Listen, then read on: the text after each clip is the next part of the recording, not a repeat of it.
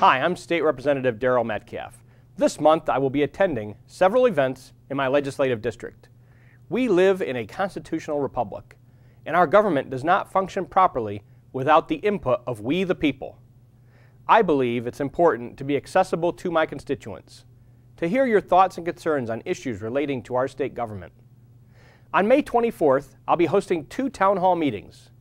The original morning coffee and conversation will begin at 8.30 at the Penn Township Municipal Building. The evening, Dessert with Daryl, will begin at 6.30 at the Adams Township Municipal Building. I will also host my annual Senior Expo on May 31st from 9 to noon.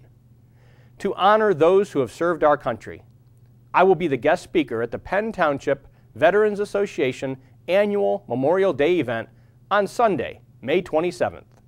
For more information on any of the events mentioned, please contact my office.